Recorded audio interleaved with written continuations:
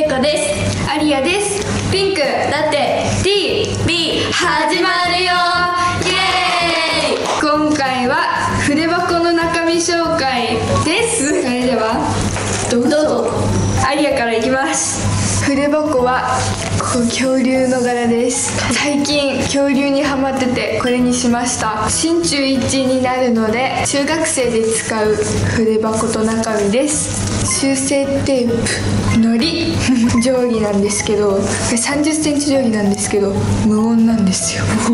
授業中とか3 0センチ定規ってガタガタガタガタってなるんですけど。これは無音。すごいでしょ？ドラえもんのペンです。これは赤と青と黒の3色が入ってます。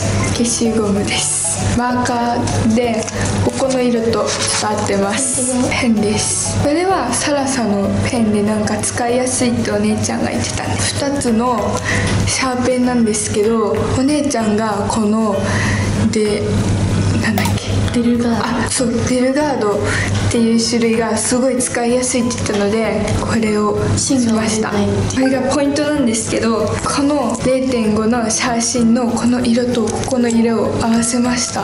この上の部分をこうやって押すと出てくる。んですこの名前ペンです。以上です。じゃあ次はエコが紹介をします。と私はこのちょっと韓国と日本を行き来する飛行機のチケット柄で裏はこのオーロラ柄がすごいポイントです。私は結構ペンをいっぱい入れるので大容量なものを選びました。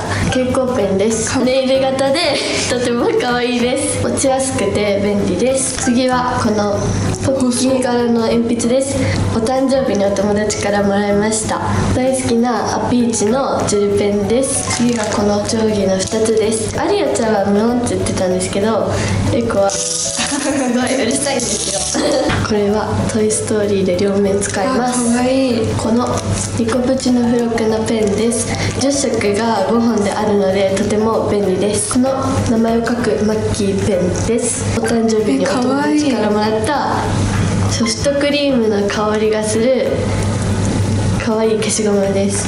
クルトガです。ここにあクルトが名前が入ってます。これもクルトガです。これがテープのり。コンパクトなので持ちやすいのりかなと思います。これは丸付けするときに使う赤ペンです。ピンク形の 鉛筆。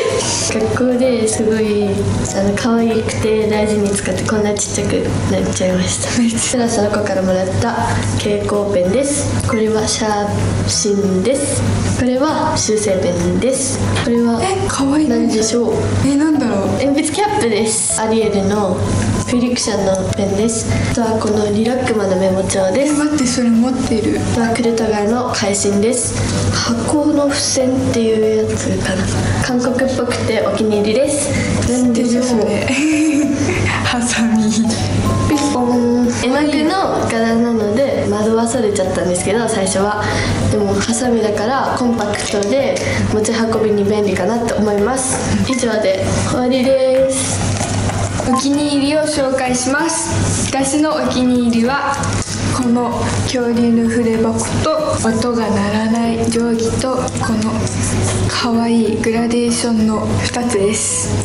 あとのお気に入りはこの「トイ・ストーリー」の定規はこっちにもメモリが入ってて裏にもメモリが入ってるので、なんかテスト中とかいちいち裏返しとかしなくても済むのですごい便利です。これはあの単にアピーチが大好きなのでこのアピーチのペンがお気に入りです。これは大好きな韓国柄とかいうのが入っててすごいこの「ハッシュタグピンク」っていうのとか ローラースケートとかこういう女の子とかもすごい可愛いのでお気に入りです。このアリアちゃんの持ってる修正テープです。機械的な できる修正テープが近未来的で面白いなって思いました。私はエコちゃんのこれはハサミってしてたんですけど最初見た時はえっと思ってやっぱこれ可愛いなと思いました。小学校と中学校の違いは小学校は鉛筆だったけど中学校はシャーペンにから揃えないといけない割と鉛筆は少なめだったんだけど家とかで宿題はこのさっきのシャーペンとかを使ってたからあまりアリアちゃんみたいに買い揃えはしないかなって思いますよかったらよかったら参考にしてみてください。もしこの動画がいいと思ったら高評価チャンネル登録よろしくお願いします。バイバイ